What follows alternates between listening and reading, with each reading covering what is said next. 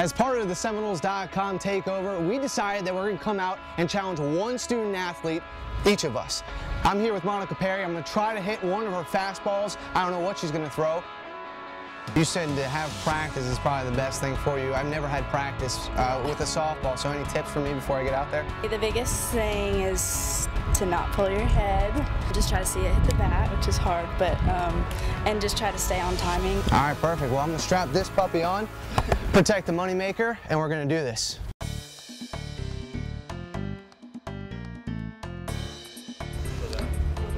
Woo! Unaware you threw like a girl. That's all right. I hope these are only warm-up pitches. Get you good. We'll get you good. Oh, yeah.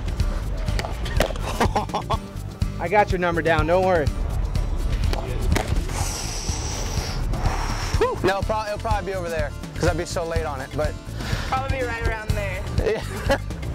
oh my God! Wow, that comes in fast. Whoa!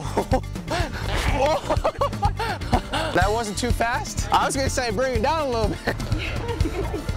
it's been a while. I'm all right. That was a ball. Can't even figure out where the ball's going. Check swing. Two and two. Two and two. Woo! I think that's a single. Staying alive.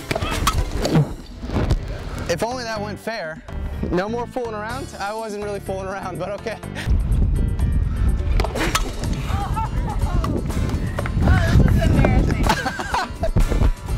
I'm gonna call it a day. I appreciate it. Good job. Hey, nice job today. And they said it couldn't be done. Scott, I hope you fared just as well on the links.